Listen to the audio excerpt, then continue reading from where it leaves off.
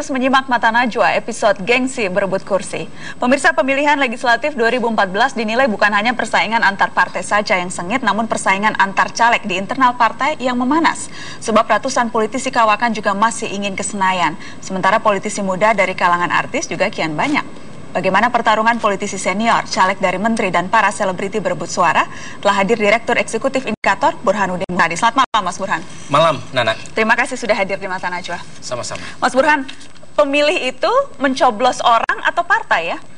Kalau berdasarkan riset kami di 45 dapil dan survei nasional sebagai pembanding di bulan April 2013 itu menunjukkan bahwa sebagian besar masyarakat pemilih kita itu mencontreng atau mencoblos uh, partai, entah hmm. itu logonya, nomor urutnya maupun lambangnya ketimbang nama atau nomor urut caleg. Jadi percuma saja mereka jor-joran berkampanye para individu-individu ini kalau toh sebagian besar orang ternyata milihnya partai itu? Uh, tentu tidak percuma juga karena bagaimanapun di dalam proses penentuan siapa yang mewakili partai di dalam sebuah dapil yang memenuhi bilangan pembagi pemilih itu kan ditentukan berdasarkan sistem suara terbanyak hmm. dan di situ suara terbanyak bagi calon itu menentukan siapa yang lolos ke Senayan. Hmm. Jadi tetap penting meskipun kalau kita lihat data sebagian besar orang lebih memilih partai. Kenapa itu ya Mas? Kenapa orang tidak karena untuk mudahnya saja, gampangnya saja atau alasan lain? Saya kira sangat mungkin terjadi karena partai lebih dikenal oleh masyarakat ketimbang calon.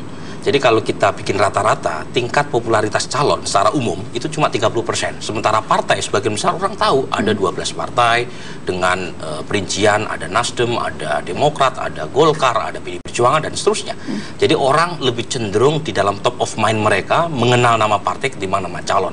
Cuma di dalam open list proportional system siapa yang mewakili partai itu kan ditentukan oleh suara terbanyak. Di situ uh, calon yang memperoleh suara terbanyak terutama di dalam dapilnya itu penting hmm. untuk mewakili apa yang lolos. Kalau itu itu kalau kita bicara survei secara umum, kalau kita memotret hmm. dapil per dapil, apakah kemudian konstituen atau masa pemilih di dapil tersebut itu juga familiar dengan calon-calon yang maju? Tergantung dapilnya dan tergantung calonnya. Tergantung dapilnya terutama terkait dengan tingkat pendidikan dan pemilih di sebuah dapil. Semakin tinggi tingkat pendidikan dan pendapatan pemilih di sebuah dapil, semakin cenderung mereka mencontreng atau mencoblos uh, nama calon ketimbang hmm. nama partai. Misal, pemilih PKS dan PAN itu lebih cenderung mencontreng atau mencoblos nama calon ketimbang gambar partai. Tapi pemilih PKB, PDI Perjuangan itu lebih cenderung mencontreng gambar partai hmm. atau lambang partai. Dan yang kedua tergantung calonnya. Misalnya dalam studi kita, nama seperti Puan Mahani ya, Dapil Jateng ya, kemudian nama seperti Wahidin Halim di Tangerang hmm. Raya, kemudian uh, calon seperti Dede Yusuf itu orang yang mencontreng mereka lebih tinggi ketimbang rata-rata calon yang lain. Hmm. Bisa dimaklumi karena mereka relatif dikenal ketimbang calon-calon yang lain. Misalnya kalau, kalau kita ke tahun 2009, Edi Baskoro sampai bisa meraup 327 ribu suara ya. di dapil Jatim, Pacitan, Magetan ya eh, tempat ayahnya berasal. Jadi memang tergantung orangnya saya kira. Tergantung orangnya. Karena itu kalau kita bicara sekarang masuk masa kampanye tiga hmm. bulan ini sampai pemilu legislatif. Seberapa besar kira-kira kampanye ini akan mengubah preferensi orang dan kalau memang mengubah apa yang harus dicermati oleh uh, baik yang akan bertarung maupun kita para pemilih? Uh, begini, saya sendiri tidak terlalu yakin kampanye bisa mengubah secara drastis pilihan pemilih. Karena dalam riset yang kami lakukan di indikator itu selalu ditemukan pola bahwa hanya sekitar 20-an persen masyarakat yang mencontreng setelah kampanye.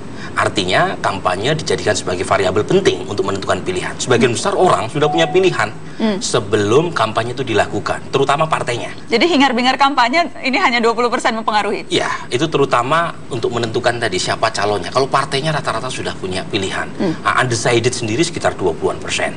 Nah, ini menunjukkan bahwa kampanye memang punya efek terutama ke mereka yang masih menunggu Nah, efek dari kampanye ini saya kira yang menentukan siapa yang lolos.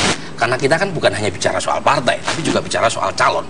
Nah, pada titik itu, saya kira variabel partai penting. Karena bagaimanapun orang lebih cenderung kenal partai ketimbang calonnya. Oke, kalau kita bicara soal uh, jumlah incumbent caleg hmm. yang sekarang muka lama atau orang yang sudah pernah menjadi anggota DPR dan mencalonkan diri hmm. lagi itu hampir 90 persen. Yeah. Itu berarti memang um, ya pilihannya terbatas kalau memang mau melihat apa yang terjadi sekarang di DPR ya memang orang-orang inilah yang kemudian akan mencalonkan diri lagi? Ya begini, kalau kita lihat data itu ada sekitar 507 dari 560 anggota DPR sekarang yang akan maju lagi di 2014. Itu artinya ada 90,5 persen ya e, calon incumbent ya calon yang sekarang sedang duduk di DPR yang e, sekarang e, berkuasa ya. Nah dari 507 tadi PKS yang daftar calon incumbentnya paling besar. Jadi 100 persen dari 57 caleg PKS di 2014 itu berasal dari calon incumbent sekarang. Hmm. Kemudian juga e, kalau kita lihat data e, Golkar paling sedikit jumlahnya, hanya sekitar 86 persen dari e, 106 anggota DPR-nya yang maju lagi. Nah kalau kita lihat polanya, sepertinya partai-partai tidak mau gambling. Mereka e, mengajukan lagi nama-nama lama dengan asumsi bahwa nama-nama lama ini investasi politiknya udah lama dan karenanya diharapkan akan mengantongi suara buat kepentingan partainya. Nah kalau kita lihat kita breakdown lagi Nana, itu ada variasinya. Misalnya PD Perjuangan, itu yang paling sedikit pertukaran antar dapil buat calon incumbentnya. Rata-rata calon incumbent dari PD Perjuangan ditaruh di dapil yang sama dan di nomor urut yang kurang lebih sama. Hmm. Sementara di partai lain ada yang variasinya. Jadi misalnya, artinya tidak bisa banyak berharap ada perubahan wajah DPR, termasuk perubahan yang yang tidak usah ujuk-ujuk perubahan fundamental perubahan sedikit saja akan sulit karena toh orangnya iya. sama-sama iya. saja. Iya, kalau sepertinya partai politik memakai cara yang sangat pragmatis. Mereka e, merasa bahwa calon incumbent punya popularitas dan elektabilitas memadai karena sudah dibekali dengan banyak e, dana dapil, dana komunikasi, dana konstituen dan seterusnya. Yang kemudian mereka merasa yang penting menang dulu. Soal perubahan itu urusan uh, agenda yang kesekian buat partai politik. Jadi memang kalau kita bicara dari calon incumbent yang sebagian besar maju, sepertinya sulit buat kita untuk berharap ada banyak perubahan di sana. Hmm. Kecuali kita melakukan scrutinize ke satu dua orang calon yang dianggap punya rekam jejak yang baik. Jadi masih ada sebenarnya celah sedikit bagi kita Nana untuk mengajukan perubahan, agenda perubahan melalui uh, satu apa rumusan kampanye pilih calonnya, lihat calonnya, jangan lihat partainya. Hmm. Nah, untuk melihat calonnya, lihat rekam jejaknya, apa agenda dia yang selama ini sudah dia lakukan untuk kepentingan perubahan melalui DPR dan apa yang sudah mereka uh, keluarkan termasuk rekam jejaknya bersih atau tidak dari korupsi, bersih atau tidak dari kejahatan hak asasi manusia hmm. dan termasuk apa proposal perubahan untuk diajukan ke 2014 nanti. Jadi pilih calonnya bisa. bukan pilih partainya. Ya lihat calonnya, spesifik calonnya, spesifik calonnya, rekam jejaknya bersih atau tidak dia dari agenda uh, pemberantasan korupsi ya. Apakah selama ini dia relatif punya satu sikap persisten untuk mengajukan proposal perubahan, baru kemudian lupakan partainya. Yang penting adalah calon-calon tadi rekam jejaknya, integritasnya, kapasitasnya baik atau tidak. Hmm. Nah, di situ masih ada peluang buat kita untuk membuat pemilu 2014 lebih baik.